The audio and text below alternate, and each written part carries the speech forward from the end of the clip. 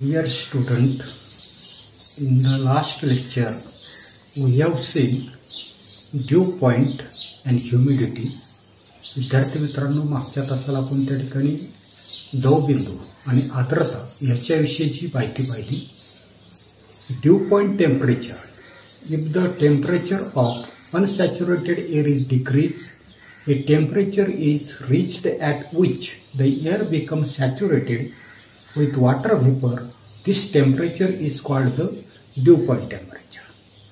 त्याच्यानंतर आपण absolute humidity पाहिली निरपेक्ष आर्द्रता त्या ठिकाणी पाहिली त्याच्यानंतर रिलेटिव्ह ह्युमिडिटी पाहिली सापेक्ष अशा प्रकारची आर्द्रता त्याच्यानंतर आपण त्या ठिकाणी पर्सेंटेज ऑफ रिलेटिव्ह ह्युमिडिटी कशा पद्धतीने काढायची याच्याविषयीची माहिती त्या ठिकाणी पाहिली याच्यानंतर पुढे आपल्याला पाहिजे ते युनिट ऑफ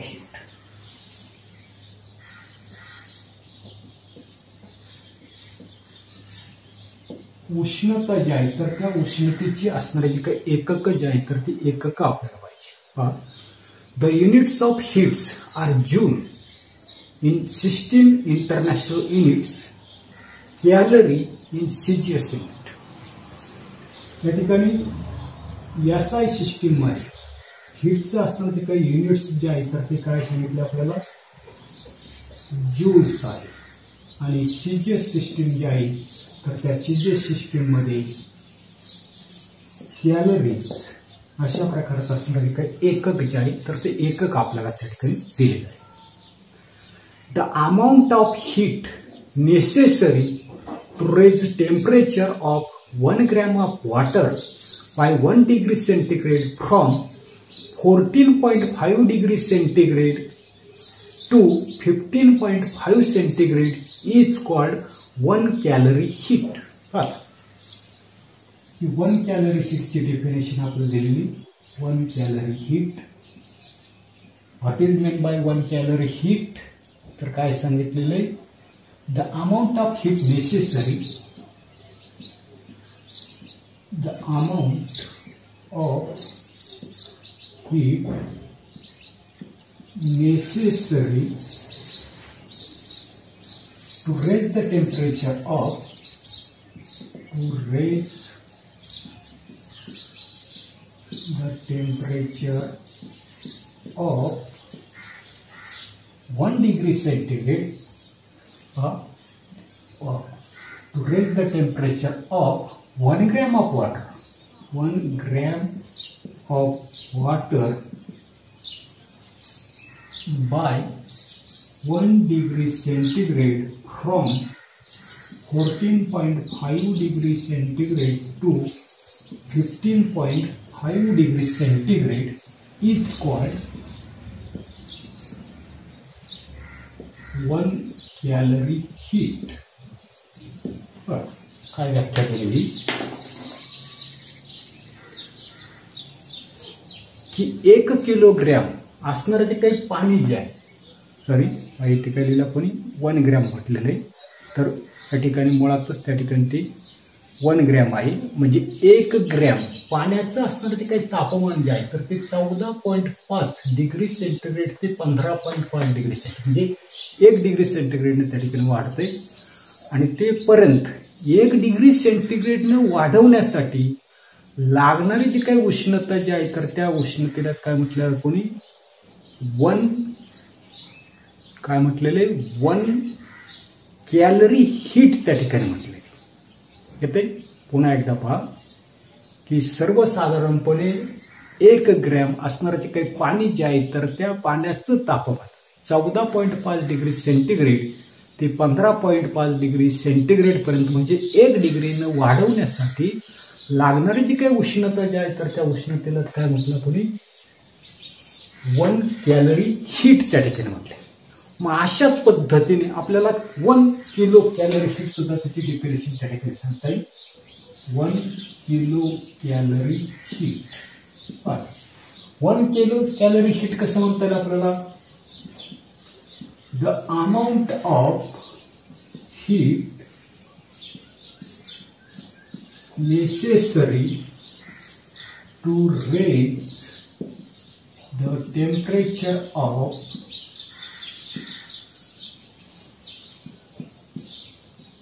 one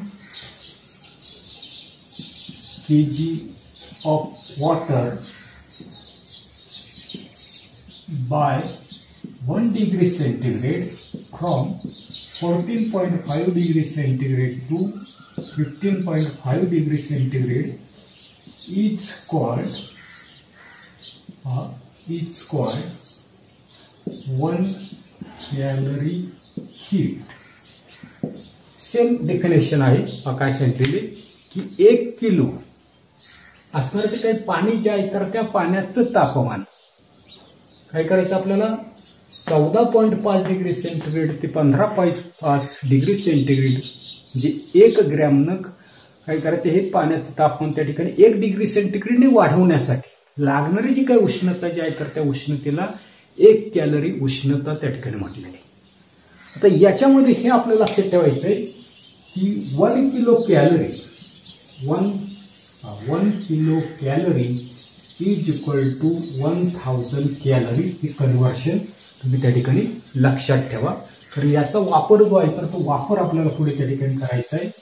न्यूमरिकल सोडत असताना one kilo calorie is equal to one thousand calorie or ten raise to three calorie तो आता पुढे ऑलवेज रिमेंबर म्हटलेले नेहमी लक्षात ठेवायला सांगितले की if we heat one K G of water by 1 degree centigrade in different temperature ranges than 14.5 to 15.5 degree centigrade, the amount of heat required will be slightly different. की एक किलो असणारे ते काही पाणी जे आहे एक किलो म्हणजे साधारणपणे एक लिटर असणारे ते काही पाणी जे आहे तर त्या पाण्याचं तापमान चौदा पॉईंट पाच डिग्री सेंटीग्रेड ते पंधरा पॉईंट पाच डिग्री सेंटीग्रेड पर्यंत या तापमानापेक्षा ही आपली रेंज आहे. तर या तापमानापेक्षा वेगळ्या तापमानात जर आपण त्या ठिकाणी तापवलं तर एक डिग्री सेंटीग्रेडने तापमान वाढवण्यासाठी द्यावी लागणारी जी काही उष्णता जी आहे तर ती उष्णता एक किलो कॅलरीपेक्षा थोडी भिन्न राहील. आणि म्हणून पहा it is therefore essential to define specific temperature range while defining the unit of the heat आणि म्हणून या ठिकाणी एकक या ठिकाणी पहा काय म्हटलेलं आहे की सर्वसाधारणपणे उष्मा एकक जे आहे तर ते युनिट ऑफ द हीट उष्मा एकक जे आहे तर ते उष्मा एकक ठरवताना आपण चौदा पॉईंट पाच डिग्री सेंटीग्रेड ते पंधरा पॉईंट पाच डिग्री सेंटीग्रेड हाच विशिष्ट तापमान खंड जो आहे तर तो आपण त्या ठिकाणी निवडताना दिसतो calories and joule are related by the following regulation आपण त्या ठिकाणी सातवीला आठवीला त्या ठिकाणी पाहिजे काय पाहिजे की one calorie is equal to four point eighteen joule असा संबंध जो आहे तर तो संबंध आपण सातवीच्या आठवीच्या पुस्तकामध्ये त्या ठिकाणी पाहिजे की एक कॅलरी इज इक्वल टू चार पॉईंट अठरा जून हे मागच्या प्रकरणामध्ये आपण त्या ठिकाणी पाहिलेलं आहे. आता पुढे इंट्रोडक्शन टू सायंटिस्ट आपल्याला दिलेले James Prescott Joule 1880 1889 he was the first person to show that kinetic energy of the tiny particle of matter appears as the heat energy and also that energy can be converted from one form to another. James Prescott Joule पदार्थाच्या सूक्ष्म कणांची असणारी काही गतिज ऊर्जा जी आहे तर ती गतिज ऊर्जा उष्णतेच्या रूपामध्ये त्या ठिकाणी बाहेर पडते तसंच निरनिराळ्या ऊर्जेची असणारी एका प्रकारच्या स्वरूपामधून दुसऱ्या प्रकारच्या स्वरूपामध्ये त्याचं रूपांतर जे आहे तर ते रूपांतर त्या ठिकाणी करता येतं हे त्याने त्या ठिकाणी दाखवून दिलं. Conversion of heat energy to work use the first law of thermodynamics तर या ठिकाणी उष्णता स्वरूपातील ऊर्जेच्या रूपांतरणातून पुढे आपल्याला थर्मोडायनॅमिक्स ही जी काही विज्ञानाची असणारी काही शाखा जी आहे तर त्या शाखेचा पहिला सिद्धांत त्या ठिकाणी काय आपण आपल्याला प्राप्त होताना दिसतो.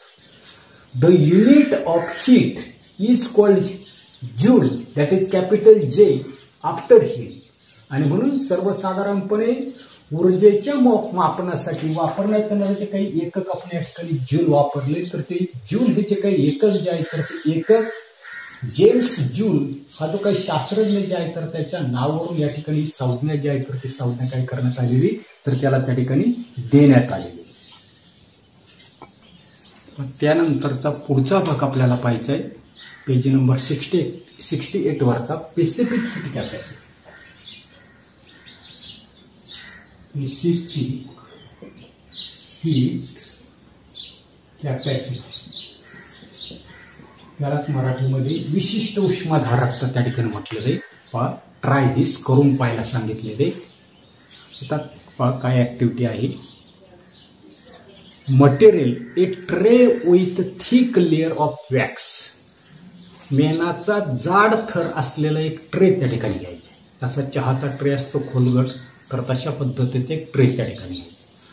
Solid sphere of iron lead copper of equal masses त्याच्यानंतर तांबा असेल शिसा असेल लोखंड असेल असे समान वस्तुमानाची भरीव अशा प्रकारची गोल जी आहे धातूची गोल जी आहे तर ती गोल त्या ठिकाणी घ्यायची त्याच्यानंतर बर्नर ऑफ स्पिरिट लॅम्प आणि लार्ज बिकर त्या ठिकाणी घ्यायचे.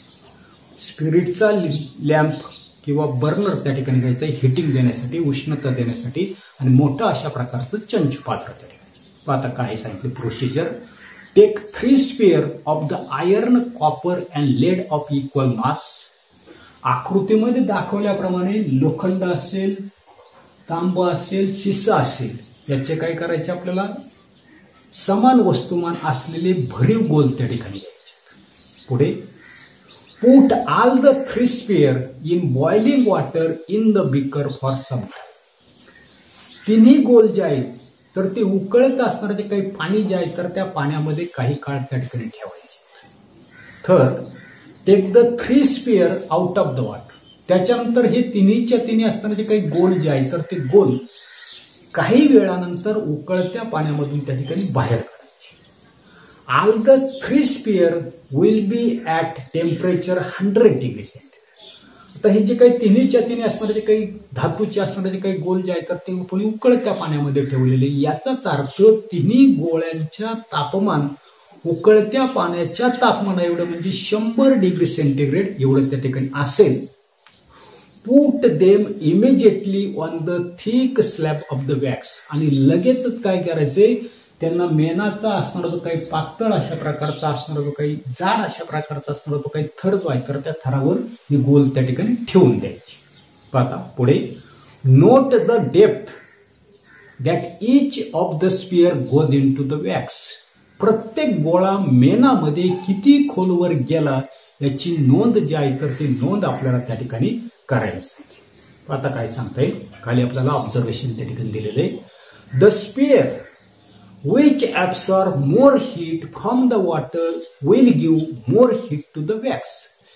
तिन्ही गोलापैकी जो गोळा जास्त त्या ठिकाणी पाण्यामधून उष्णता शोषण घेईल तर तो गोळा काय होता नसतो? मेनाला त्या ठिकाणी जास्त उष्णता देईल आणि त्याच्यामुळे ते मेन जास्त प्रमाणामध्ये त्या ठिकाणी वितळेल आणि तो गोळा काय होईल? मेनामध्ये खोलवर त्या ठिकाणी आपल्याला जाताना दिसतो. आता पुढे more wax will thus melt and the spear will go deeper in the wax. जो गोळा जास्त उष्णता त्या ठिकाणी शोषील तो काय करेल? तर त्या ठिकाणी त्याच्या खालचं मेन जास्त प्रमाणामध्ये वितळेल तो गोळा त्या ठिकाणी खोलवर त्या ठिकाणी जाईल. It can be observe that iron go iron sphere goes deepest into the wax आकृतीमध्ये आपल्याला दिसतंय की लोखंडाचा असणारा जो काही गोळा जो आहे तर तो लोखंडाचा गोळा मेनामध्ये त्या ठिकाणी जास्त खोलवर त्या ठिकाणी गेलेला आपल्याला त्या ठिकाणी दिसून येताना दिसतो पुढे lead sphere goes the least या ठिकाणी शिष्याचा असणारा जो काही गोळा जो आहे तर तो शिष्याचा गोळा मेनामध्ये सर्वात कमी त्या ठिकाणी काय केलेलं आहे? खोल जाताना दिसतो. पुढे and the copper sphere goes to intermediate आणि तांब्याचा गोळा जो आहे तर तो तांब्याचा गोळा आपल्याला काय दिसतोय? या दोघांच्या म्हणजे लेड आणि आयर्नच्या दरम्यान त्या ठिकाणी खाली आपल्याला गेलेला त्या ठिकाणी आढळून येता दिसतो. This shows that for equal rise in temperature the three sphere have observe different amount of heat याच्यावरून आपल्या असं लक्षात येता नसतं की तापमान सारख्याच प्रमाणामध्ये वाढवण्यासाठी तिन्ही गोळ्यांना काय केलेलं आपण उकळत्या पाण्यामधून. शोषलेली जी काही उष्णता जी आहे तर ती तिघांनी शोषलेली उष्णता त्या ठिकाणी भिन्न भिन्न त्या ठिकाणी आहे. This means that the property which determine the amount of heat absorbed by a sphere is different for the three sphere याच्यावरून आपल्या त्या ठिकाणी लक्षात येतं नसतं की उष्णता शोषून घेण्याचा प्रत्येक गोळ्याचा असणारा जो काही गुणधर्म जो आहे तर तो गुणधर्म कसा आहे तर त्या ठिकाणी वेगवेगळा त्या ठिकाणी. आणि this property is called specific heat cap capacity आणि ही जो हा जो काही गुणधर्म जो आहे तर त्या गुणधर्माला काय म्हणणार आपण? त्या ठिकाणी विशिष्ट उष्माधारकता त्या ठिकाणी म्हणा. पण त्याची व्याख्या आपल्याला दिलेली the amount of heat Energy required to raise the temperature of unit mass of an object by 1 degree centigrade is called the specific heat of that object. पहा काय व्याख्या दिलेली the amount of heat the amount of heat energy required energy required to raise the temperature to raise the temperature of unit mass of a unit mass of an object of an object by 1 degree centigrade is called is called specific heat capacity. Definition काय दिलेली? की एकक वस्तुमानाचा असणारा तो काही पदार्थ जो आहे काय सांगितलं आपल्याला? युनिट मास एकक वस्तुमानाचा असणारा तो काही पदार्थ जो आहे तर त्या पदार्थाचं तापमान काय करायचं आपल्याला? एक डिग्री सेंटीग्रेडने वाढवण्यासाठी लागणारी जी काही उष्णता जी आहे तर त्या उष्णतेला काय म्हणणार कोणी? स्पेसिफिक हिट कॅपॅसिटी पुढे हा the specific heat capacity is denoted by the letter C शॉर्टकटमध्ये दिली त्या ठिकाणी की पेसिफिक हिट कॅपॅसिटी आपल्याला उदाहरण सोडवताना त्या ठिकाणी दाखवायची तर ते सुमार सी अक्षर जे आहे तर त्याने त्या ठिकाणी दाखवलेलं आहे. The SI unit of specific heat capacity is joule per degree centigrade kg. The SI unit of specific heat capacity हे एकक तुम्ही त्या लक्षात ठेवायचे काय दिलेले जून पर म्हणायचं तिरपी म्हणजे per degree centigrade kg S I system मग अशाच पद्धतीने आपल्याला सीजीएससी जे आहे तर ते सीजीएससी युनिट आपल्याला या ठिकाणी पाहिजे कशाचं? स्पेसिफिक हिट कॅपॅसिटीचं तर ते आपल्याला सांगता येईल. जूलच्या ऐवजी काय घेणार आपण आता? कॅलरी घेणार आहे. कॅलरी पर डिग्री सेंटीग्रेड आणि किलोग्रामच्या ऐवजी ग्रॅम त्या ठिकाणी ही एकक जी आहे तर ती एकक तुम्ही त्या ठिकाणी लक्षात ठेवा. आता याच्यामध्ये काय असणार ते काय specific capacity of some substances आपल्याला या ठिकाणी दिलेली. पुढे. Specific heat capacity of sub substances आपल्याला त्या ठिकाणी दिलेली. फॉर एक्झाम्पल वॉटर पाणी. वॉटरची असताना जी काही स्पेसिफिक हिट कॅपॅसिटी जी आहे तर ती one point zero calorie per gram degree centigrade त्याच्यानंतरचा दुसरा सबस्टन्स आपल्याला दिलेला आहे पॅराफिन मेनाचा एक त्या ठिकाणी प्रकार आहे. पॅराफिन याची असताना जी काही स्पेसिफिक हिट कॅपॅसिटी जी आहे तर ती झिरो पॉईंट फिफ्टी फोर एकक लक्षात ठेवायचे calorie per gram degree centigrade त्याच्यानंतरचं पुढचं आपल्याला दिलेलं आहे केरोसिन याला आपण त्या ठिकाणी रॉकेल म्हणताना दिसतो. याची स्पेसिफिक हिट कॅपॅसिटी आहे झिरो पॉईंट फिफ्टी टू त्याच्यानंतरचं पुढचं आपल्याला दिलेलं आहे ॲल्युमिनियम. याला आपण ॲल्युमिनियम त्या ठिकाणी म्हणता नसतो याची स्पेसिफिक हिट कॅपॅसिटी आपल्याला दिलेली की झिरो पॉईंट दोनशे पंधरा जाईल येते त्याच्यानंतर पुढे आपल्याला असणार ते काय? आयर लोखंड. या लोखंडाची स्पेसिफिक हिट कॅपॅसिटी आपल्याला दिलेली तर ती आहे zero point one hundred ten calorie per gram degree centigrade त्याच्यानंतरचा पुढचा सबस्टन्स आपल्याला दिलेलं आहे कॉपर लोखंड आपलं तांब याची स्पेसिफिक हिट कॅपॅसिटी दिलेली zero point zero ninety five त्याच्यानंतर पुढे आपल्याला दिलेले सिल्वर ज्याला आपण त्या ठिकाणी चांदी म्हणताना दिसतो याची स्पेसिफिक हिट कॅपॅसिटी दिलेली zero point zero fifty six आणि अजून एक मटेरियल आपल्याला दिलेले मर्क्युरी ज्याला आपण त्या ठिकाणी तांबे म्हणताना दिसतो याची स्पेसिफिक हिट कॅपॅसिटी दिलेली आपल्याला zero point zero thirty two thirty three दिली आता याच्यापैकी उदाहरण सोडत असताना आपल्याला सर्वसाधारणपणे वॉटरची स्पेसिफिक हिट कॅपॅसिटी आयर्नची स्पेसिफिक कॅपॅसिटी आणि कॉपरची स्पेसिफिक हिट कॅपॅसिटी त्या ठिकाणी माहीत असावी ती आपल्याला उदाहरण सोडवताना लागणार आहे. पण एवढाच असताना तो काही भाग जो आहे तर तो भाग आपण या तासाला पाहणार आहोत.